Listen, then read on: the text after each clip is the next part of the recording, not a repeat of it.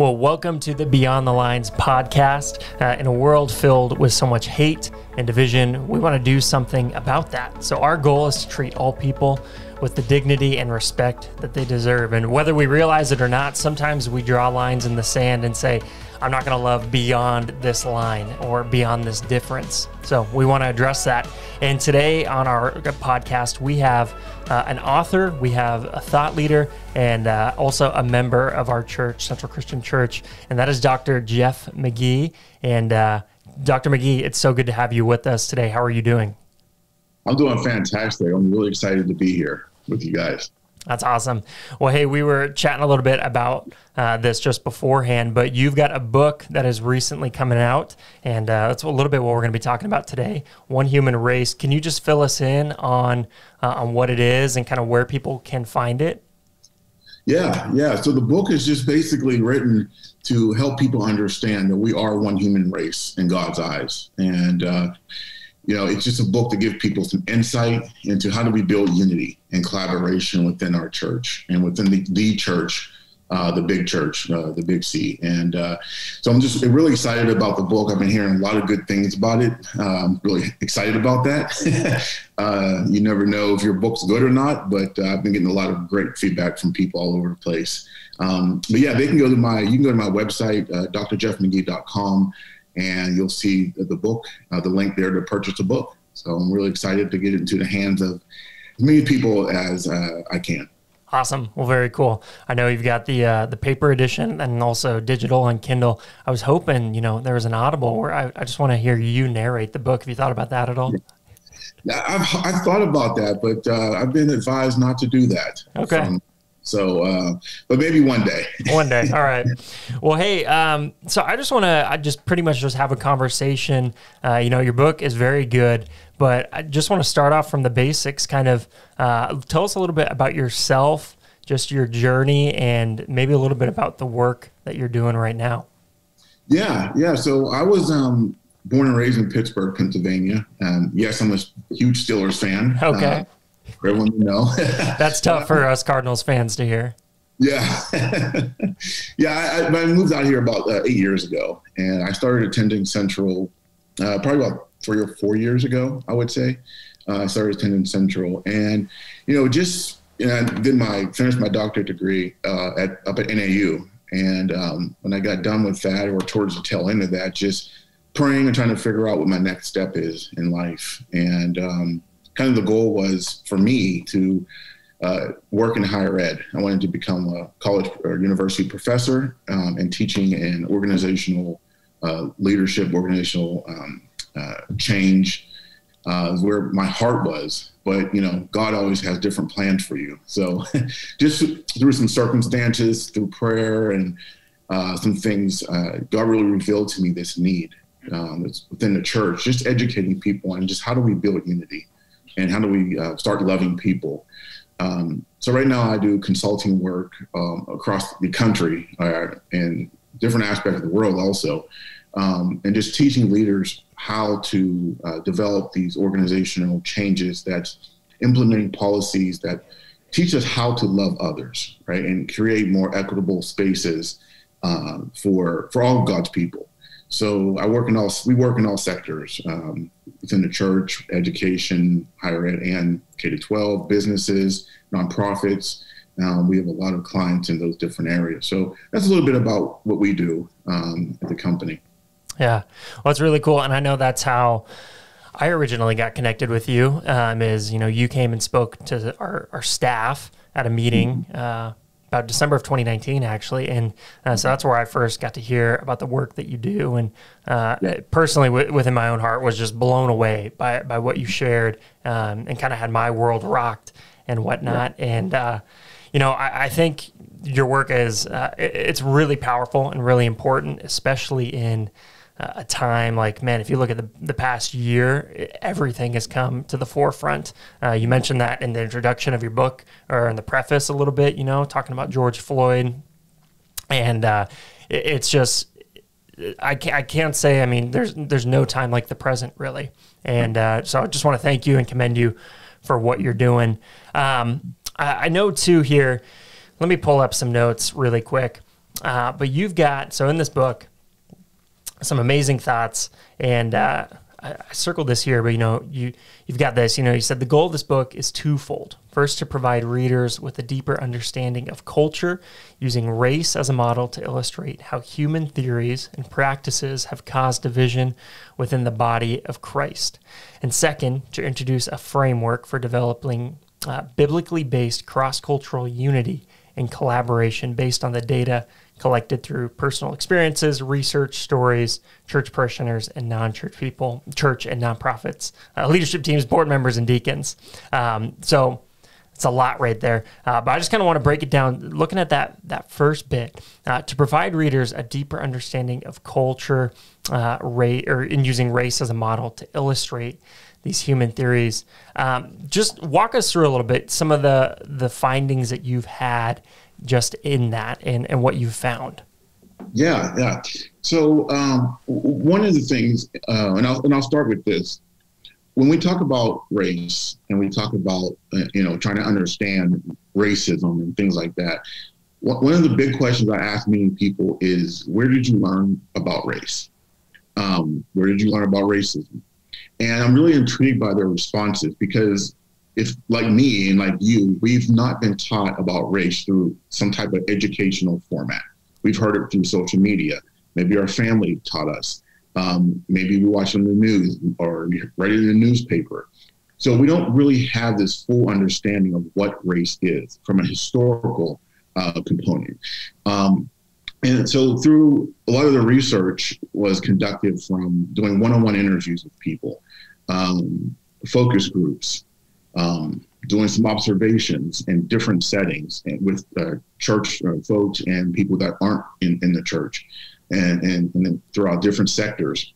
So a, a, lot of this research was done for, I've done it for years because I wanted to really establish a strong foundational understanding of how we can learn something different, how people do learn. Um, and so I was, I felt it was important before I started laying out a framework to understand how to make changes. We have to first understand what the information is and have a really strong foundation of what race is, especially from a, um, a biblical uh, perspective. So I wanted to really lay that out and give people this, this, understanding before we moved into how we can start making these changes. Yeah, no, that's good.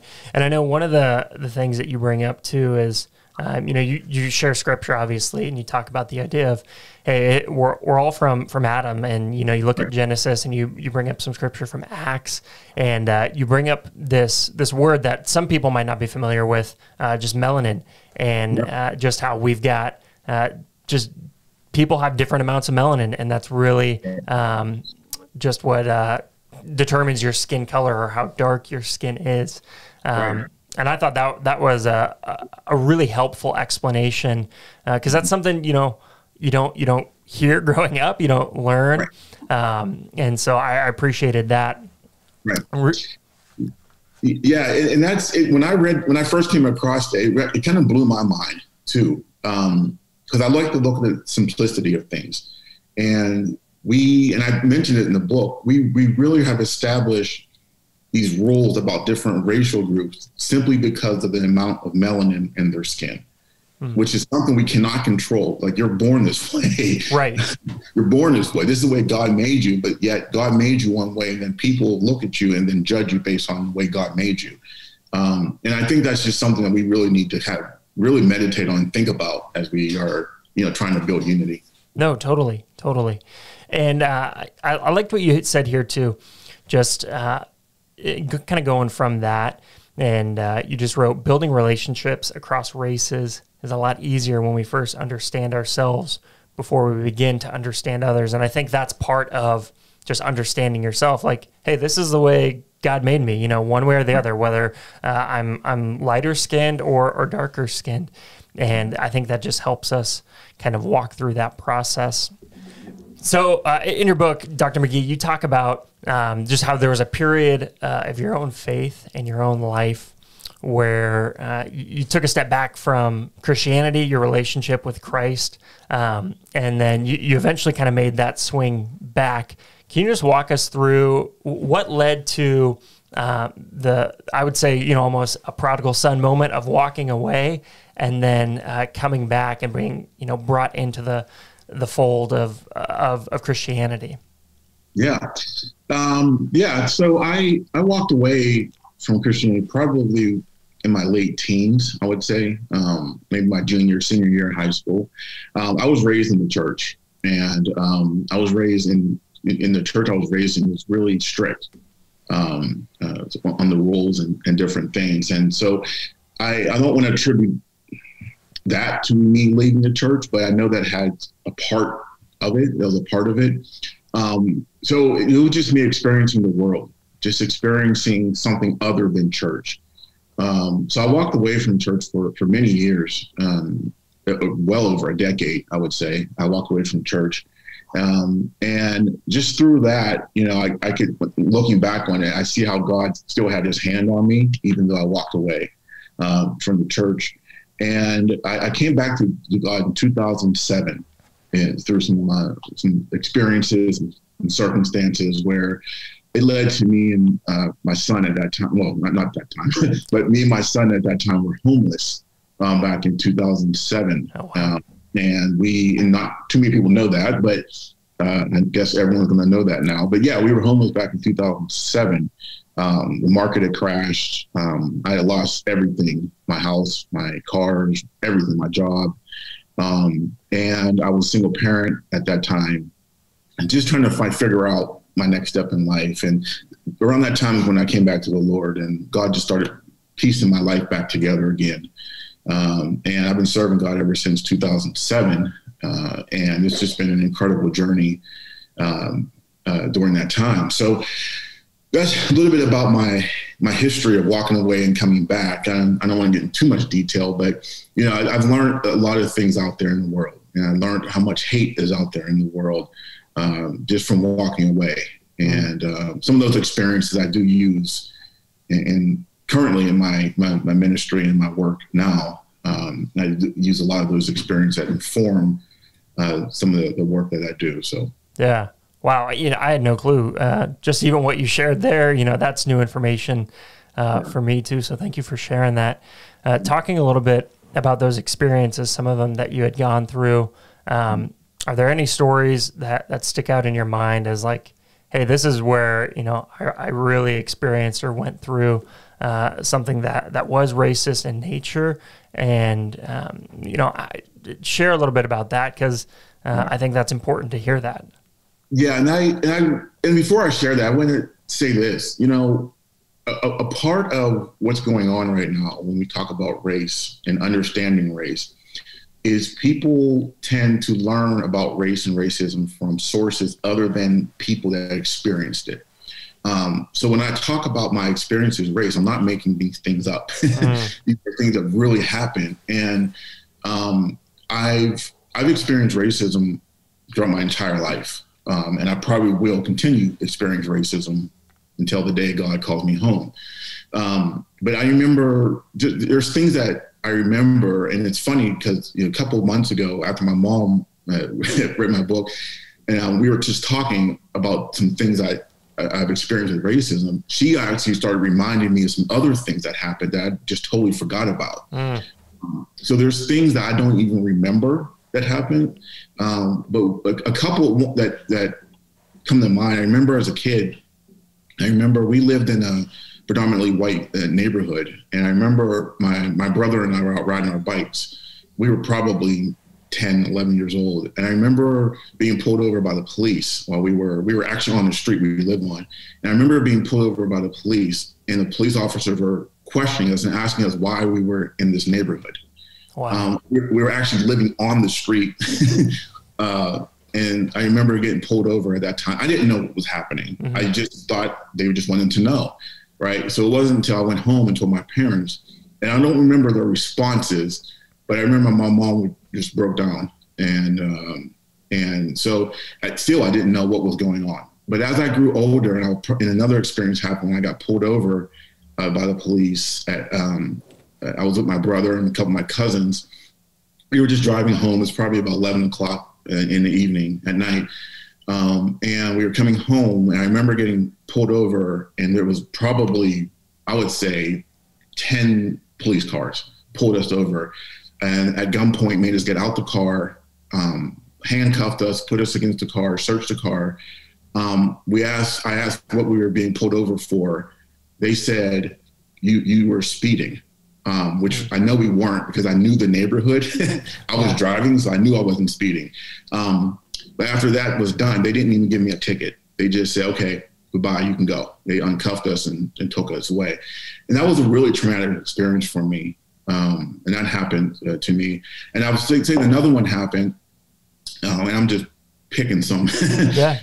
from my memory. Something one happened here in uh, in Arizona here, and I was at uh, to the Tempe Marketplace, and I was walking with uh, a friend of mine at that time, and she was a, a white female, and we went into a store, and I remember it was a jewelry store we went into, and I remember her and I went our separate ways, but I noticed the employees started following me. Mm-hmm.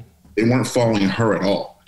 Uh, matter of fact, I, if I remember correctly, she was actually digging in her purse near the jewelry counter, which later on I told her, you know, how I would never do something like that. Because if I'm digging in my pockets or something in the jewelry counter, I know I'm going to be suspected of something, right? Yeah, people are going to jump to the worst conclusion.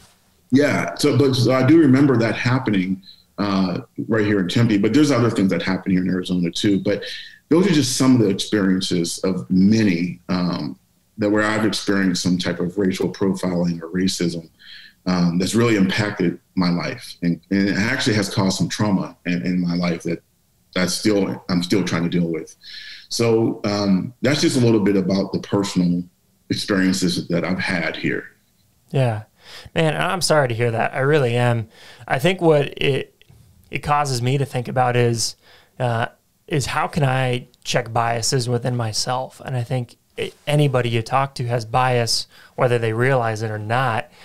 What is some of the, the, the work you've found or uncovered and how we, or even just biblically, like how can we challenge ourselves to just reflect, look at ourselves and say, hey, why am I thinking this? Or how does God actually want me to respond to this?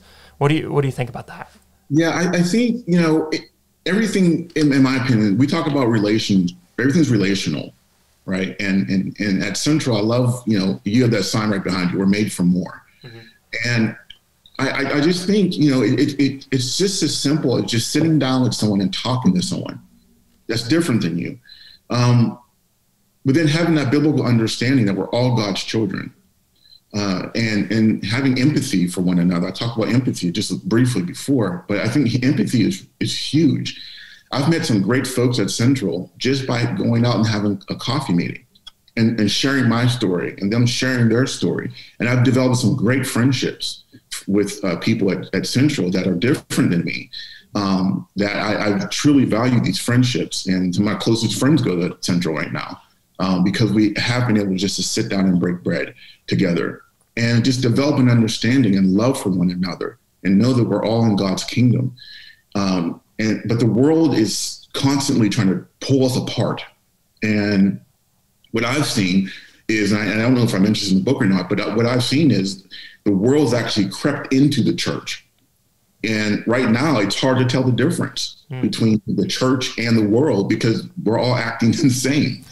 Um, and so this is where we need to, to separate ourselves you know, and, and just start being different. And that just comes from understanding ourselves, reading our word, letting the Holy Spirit work in us. And simply in a scripture I quote a million times, it's just loving our neighbor, just loving other people. That's that's all it is. When I say other people, just someone that's not you, just loving everybody, you know. Yeah. Um, and we can just simply do that. We can just start building better relationships, a better society, um, and a better community within the church. Yeah. You know, and I think what you said, you know, love your neighbor. Uh, you write it in the book, and uh, you know, as followers of Christ, hopefully we know this. Like, that's the second commandment, right? Like Jesus says, love God. You know, uh, put Him first. But the second is to love your neighbor. And I remember back when you talked to our, our staff uh, in December 2019, you you talked about this. Um, not phenomenon, but just kind of the culture that was set up around um, uh, I can't remember the proper word, but just uh, the railroad tracks and how that distinguished between um, certain certain neighborhoods, whether hey this is a white neighborhood or this is a black neighborhood, and that really got me to think, and has even caused my wife and I to have a lot of conversations of, hey, like we get to choose who our neighbors are to some degree. You know, we get to choose where we want to live. You know, uh, but we don't always choose who's in the apartment or the house next door. Right. At the same time, uh, you know, we've got this call to, to love whoever uh, is near us. And so, my question would be for those of us who um, want to start maybe loving our neighbors more or just learn more about our neighbors. I know you talk about empathy and, and hearing stories. W- where do we begin? Like, how do we start? Yeah. So, and so that goes towards kind of the second part of the book where I talk about the framework of where do we start, right? So the first part I talk about is understanding yourself, understanding your biases, understanding your worldview, understanding how you grew up. And then more importantly, how did you learn about, how did you learn this information? Mm-hmm. How did you learn about race? How did you learn about gender? Um, how did you learn about different ethnicities or nationalities? And uh, where would you learn about immigration? Right. So where did you learn these things from? And once we start questioning that, we can start really analyzing were we told the truth, right? And one of the things I like to bring up is, you know, we uh, Columbus Day, for example. Mm-hmm. Well, I remember growing up, you know, in elementary school, probably like you, we learned that Columbus founded America. Right. But we now know that that's not true. And I've always questioned that even before it started started to become kind of a national thing. Is my question was always, how can you find something that wasn't lost? Right? There was already people here, so how can you find something? Mm. Right? Um, so think about when you lose your keys, right? You find your keys, but you know what I mean. So it's just, it was just something that always triggered my mind. But anyway, we learn about ourselves, and we start learning new information. Um, and then as we move through the model, you know, we're just learning about different cultures, learning about different people groups.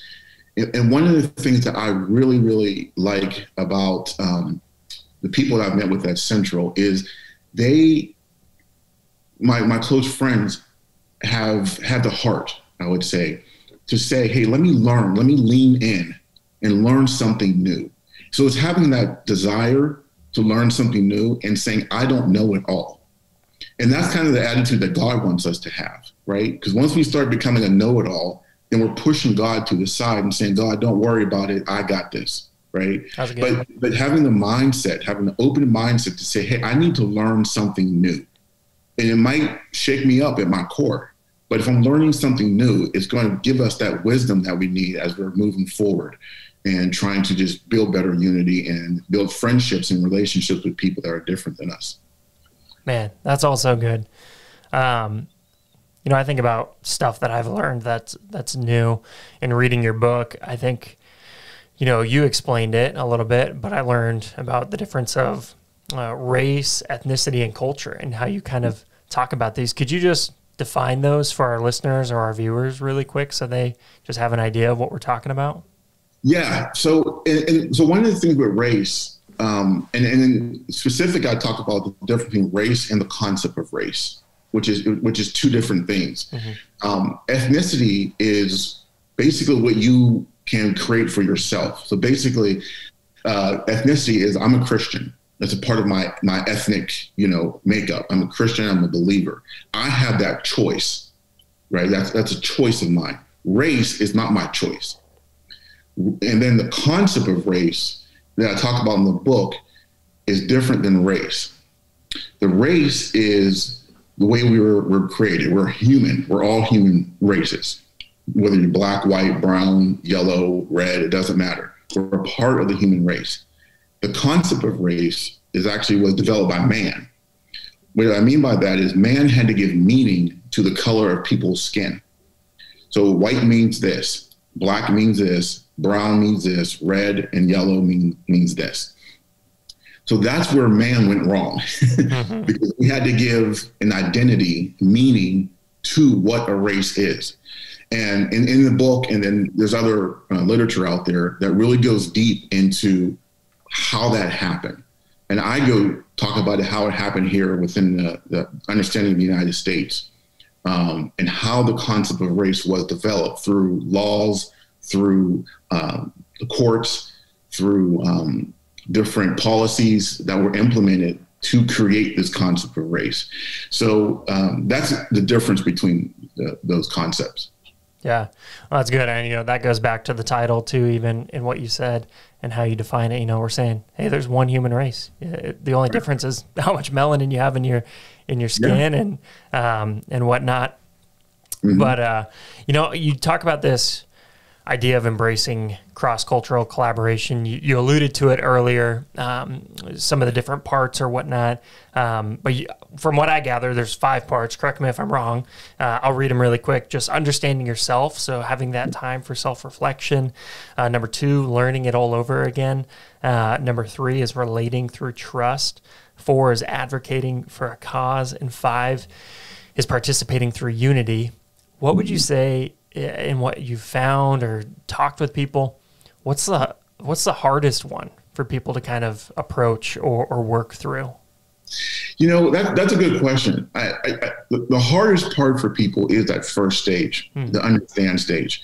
Um, we live in a society now that, and, and, I, and I think it was very, very apparent in our recent political election where we've had we had two sides that were just polar opposites, but people didn't listen to one another because they were so ingrained in their beliefs, um, whether right or wrong. It it doesn't matter. It, they were so ingrained in their beliefs that they were closed off to listening to the other side. Um, and I'm not saying they had to change their mind, but people wouldn't even listen to other people and that was that just really shows how people are so ingrained and entrenched in what they believe to be true that they're not open enough to listen to stories, listen to how someone's feeling, listen to truth. Um, I recently, I just did a, um, a training uh, with a couple days ago, and I was talking to a group on something I heard on TV, where someone was arguing uh, this the idea of white privilege and this person was arguing white privilege and saying, I don't have white privilege. I earned everything that I have. And they were just going on and on. And I had to stop and I, st- and I had to reflect on that. They were arguing something and they didn't even have the true meaning of it. So they didn't even understand what white privilege was. so they're arguing about something that wasn't even relevant. Um, and that just showed me that people get entrenched into their beliefs and it's hard to move people out out of that. Just saying, open up your mind, let's learn something new. So that first stage, if we can get past that first stage, then everything else will just fall into place. But one another thing, a point about these five stages that we have to understand, it, it, this is a lifelong journey, right? Um, walking with people, just like walking with God, is a lifelong journey. It's just not a one-time thing. You do it and you're done. Um, so that's another thing that people are, are, understanding and leaning into and saying, hey, I'm being intentional about learning. I'm being intentional about advocating. I'm being intentional about unity. Um, so that's something I, I, the two things I would say uh, are, are really stand out about this model. Yeah. Yeah, no, that, I mean, that just kind of blows my mind. Even you're just sharing that story of someone saying like, yeah, no, no, I, I earned everything I have. You know, I don't, I don't have this thing called white privilege. Uh, and you yeah. talk about that uh, in your book a little bit, you know, the idea of earned privilege. Um, and uh, I'm drawing a blank on the exact wording, uh, but I thought that was really eye opening. Mm-hmm. And so uh, this is what I would challenge. And I, I, say this as somebody who is, who is clearly white.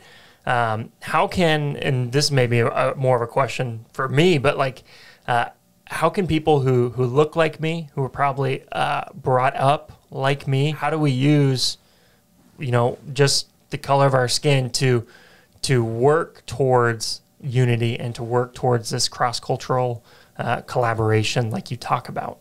Yeah, that's a good question um, because I think what people need to do, um, and I would just say for all colors, but it it just and I said this before, it's just sitting down the table and being open to learning and understanding someone else's perspective.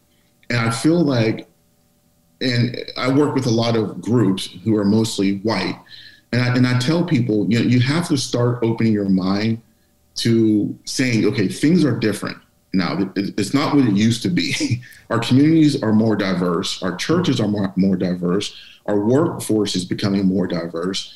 Um, and I'm not just talking racial, right? There's gender and you know ethnicity and different other cult, different cultures.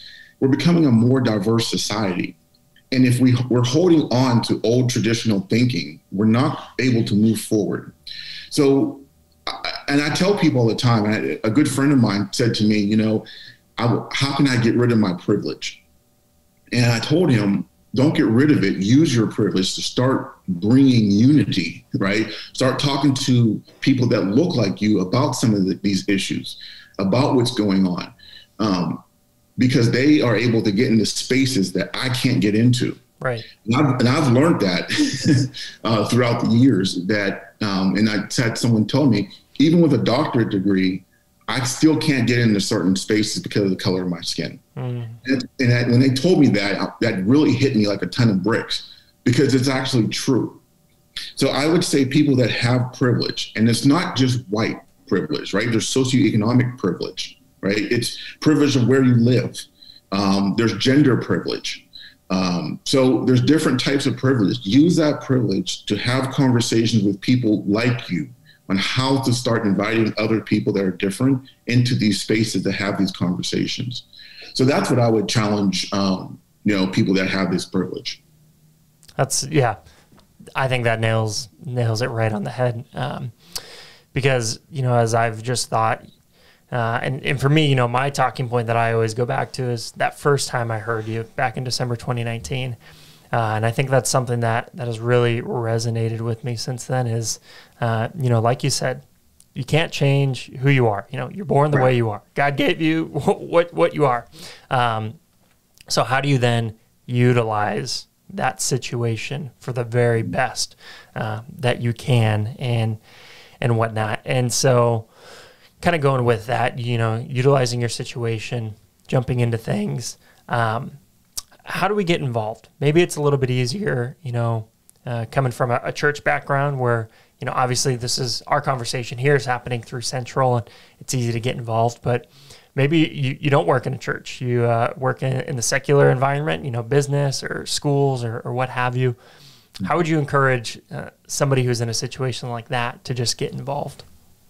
Yeah, I, and I so that's a good question because when, when you when you say that question, I'm thinking about you know the advocacy stage in, in this model, um, and I'm a, I'm a firm believer. It doesn't matter what sector you work in, that God has given us all a purpose, mm-hmm. um, and we need to find our purpose, align our purpose with God, and we can make an impact in in whatever sector we work in. Again, it goes back to loving people, loving God first, but then loving people and if you're passionate about whatever it is, you're going to pour your resources into it, whether it's your money, whether it's your time.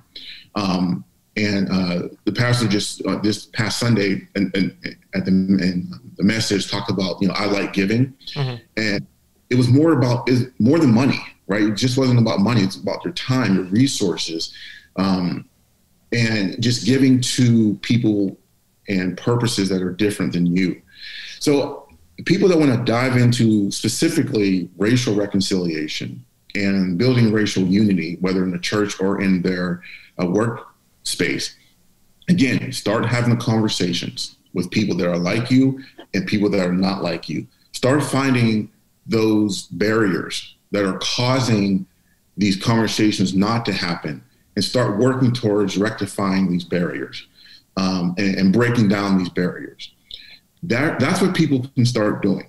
Start challenging their leadership, saying and just asking them, what are you doing to build better uh, racial unity within our organization? Um, just, and start asking these questions and challenging people and talking to leaders and talking to different people. Too many times we get stuck in our bubble and we don't want to get out of our bubble. But as I'll go back to what it said right behind you, we are made for more right? We're not made just to sit in our bubble and be comfortable. We're ba- we're made for discomfort, you know. Um, and I think about you know Paul, in, in the Bible. Paul didn't work in within the framework of being comfortable, right? Paul worked in the framework of doing God's work, doing the you know even if it meant going to prison, Paul went. Even if it meant getting beat, Paul did it, right? So we have to have that mindset that we have to step out into our discomfort and get rid of our comfort. Um, and that's one thing I think, and I, I don't want to go down the rabbit's trail, but that's one thing I think this pandemic has really showed me personally that we were comfortable just being doing our normal. But the pandemic caused us to do things that weren't normal to us, right? All of us had to do something different. Yeah. And I think because of that pandemic, it really showed me personally that there is value in discomfort. You find new things in discomfort. You find new relationships in discomfort. Um, and I think that's what we need to start leaning into is instead of operating in comfort, let's operate in discomfort. And that's where God can do some marvelous things. Amen to that. I mean, even just talking about comfort, I think of the easiest analogy for me is just working out or, you know, you, you train and uh, it, uh, doesn't feel good, right? I mean, you're sore, you, you're you're hurting your muscles, you're ripping them essentially just to build them up and make them stronger. And mm-hmm. if anything, you know, the past year has taught us that uh, there's a lot of discomfort and uh, there's a lot that we can learn and grow from it. And, you know, you don't get to the good times without going through some of the hard times right. as well. Um, want to change gears just a little bit here. I'm thinking, you know, uh, Jonathan, my co-host, who is on episodes with us, um, you know, young father, uh, he's got kids, and I'm hoping someday to have kids of my own. And how do you, how would you just go about to explain the idea of race to like a five year old? Because um, you know we talk about learned behaviors and we, we we sometimes say the things we do or act the way we do because we learned them. Uh, and sometimes that's positive and sometimes it's negative. But how would we just go about and explain the idea uh, of one human race in the simplest of terms for a child? For a child, yeah, that's a great question. You know, um, it's one of the things, and I get I get asked that question sometimes by parents, um, and one of the things I say is, you know, what are you doing as a parent to be intentional intentional about having your child interact with kids that aren't like them. Mm. Um, again, whether it's racial or socioeconomic, um, whatever the difference is, what are you doing to be more intentional about that? If you're raising your kids in a bubble, you're going to get stuck. They're going to get stuck in that bubble and, and believe that this bubble is actually true. Like this is reality. This is the way things should be. But if you're giving your kids these experiences with different cultures at a young age, the kid's going to start naturally um, start understanding, you know, that yes, I might be different than this person, but I can still play with this kid, right? We've seen all these images of the, the five year olds, or maybe even younger than that, of the black kid and the white kid that were running toward each other and give each other a huge hug, yeah. right? Right. So th- those kids don't see race, they don't see color. They just see there's another kid I can play with.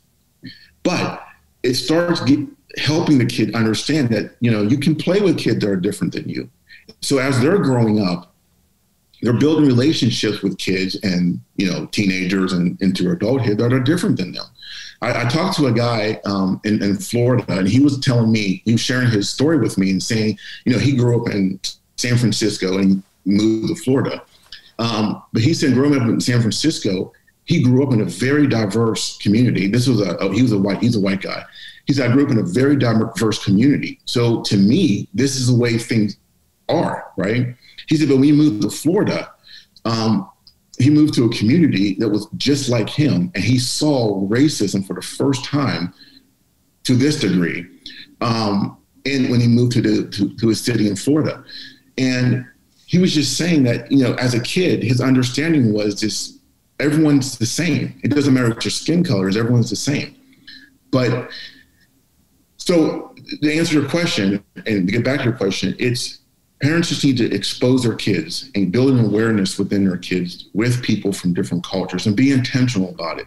Whether it's at the church, whether it's at uh, a community park, or whatever it is, just start being intentional about building relationships with kids and then with their parents that are different than you, and that's how you do it. Yeah. Well, I think that's uh, talking about experience. I mean, you were sharing about your friend's experience going from San Francisco to um, to Florida, and before I came to Central, I was in the Bay Area in Silicon mm-hmm. Valley, and I I would just experience culture in such a different way within my apartment complex alone. I'd be walking down and just the foods I could smell, uh, the kids I could see playing on playgrounds. Um, and I would say it was very different from the suburban white neighborhood I grew up in in Phoenix. Mm-hmm. And I think that is such a good point. That experience can sometimes be uh, the best of teachers when it comes right. to uh, just putting yourself uh, into into areas where you can learn. Um, and I would say, you know, with experience, I think food is another way yeah. where you can really get outside of your comfort zone and uh, and just learn more about right. others. I just remember growing up and uh, going to this gyro restaurant and uh, kind of having Mediterranean food, which, you know, 10 year old me is like, it's not a cheeseburger, it's not chicken fingers. Like, what am I doing with this? Um, right but it was those experiences like going to that restaurant, meeting the family that owned it, and then just becoming regulars and friends with them. Stuff yeah, like that yeah. is like, I think, great and can push you outside of your comfort zone. So, exactly. exactly. Yeah. Yeah. That's yeah. awesome. You got any local restaurants here in, uh, in Phoenix that you think are like your top, top go tos? You know what? I, there's some. Yeah, there's some. I like uh, Carolina's. It's down in uh, Phoenix. I don't know if you've been there before. That's an awesome Mexican restaurant. I love uh, Carolinas. I've got one yeah. not far from where I live, so it's a yeah. good one. yeah, that's one I really, really like. well, very cool. Very cool. So, Dr. McGee, uh, before we close our time here together, uh, could you just explain why does it matter? You know, why does this conversation matter? Why does uh, the work that you do and, and the topics that you research and write and talk about, why is it important? Yeah, I think the most important thing, and I, I'll reference, I can't remember top of my head, it was in John, uh, chapter John, or the book of John, chapter 7 or 17, I can't remember top of my head. When Jesus was praying, um, and it's actually the longest prayer that Jesus prayed. And in that prayer, Jesus said something that was really transformative for me in my work. Jesus prayed and said, God, I want them, and I'm paraphrasing, God, I want them to be united as we are not united. And his reason was, I want them to be united so they can be an example to the world. And when I reflected and meditated on that, that hit me really hard. The church and our unity is an example to the world. So the question is if the church looks like the world, and acts like the world, how are we going to get the world to know Jesus? And we have to have, the church has to get to this place of unity. The church is, is over 2,000 years old, and we're still fighting cultural and ethnic and racial issues. 2,000, it dates back to the Bible, to the book of Acts. Yeah, right. When we were having problems. And we're still two over 2,000 years later, we still cannot get this figured out because we always going to separate people.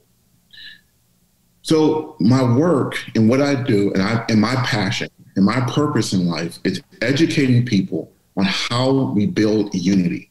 Again, not just racial unity, Christian unity. Jesus divided us into two categories. You're either in the kingdom or you're not. He didn't say you're in the kingdom, and then now there's these subcategories. He said you're a Christian or you're not. He is a Christian, but you're in the kingdom or you're not. Yeah. So, what I believe, and I'm working extremely hard for, and I'll continue working extremely hard towards, is helping people understand that we are all one. We are one body in, in of, of Christ. Doesn't matter what you look like, doesn't matter your gender, where you were born, how much money you have or don't have, if you accepted Jesus as your personal savior, you are a believer in Christ, you're united with your other brothers and sisters. And that's as simple as, that, as it is. So that's where my work starts, and that's where it's going to end uh, with this message to, to everyone. Amen to that. Like it's so good. And you're you're totally right. You know, this this isn't a problem. It's not a new problem that we're facing. Yeah. It's it's something that has happened in the early church. Uh, you mentioned Acts. I even think of you know Romans and Paul's talking to them like, hey, like the Gentiles and the Jews and the Romans, no one's getting along, and uh, and so it's not something that uh, unfortunately is going to go away overnight. And, you know, I think as we continue to work, as voices like yours are heard and continue uh, to share the message that you're sharing, uh, yeah. the, the hope and promise of what Jesus promises uh, will come day by or day by day. So. I appreciate you. I, I thankful for you. I'm glad you're part of uh, Central and just our community and all the work you're doing. Where can people, as we uh, close, where can people find you? Do you got Twitter, social media, website? How can people continue to hear uh, about the work you're doing and just learn from you?